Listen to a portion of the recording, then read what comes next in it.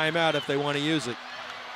Here's Fatts through a screen at the rim as it blocked by Tre Mitchell with 2.2 seconds to go. That was a good block. That was a good block.